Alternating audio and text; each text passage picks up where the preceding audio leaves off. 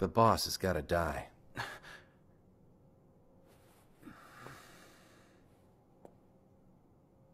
I've acquired something. So powerful that we can control this entire city. No, something even bigger. Big Daddy's just a feeble old man who's decided he's outlived his usefulness. Yet his influence is undiminished. He won't get out of the way.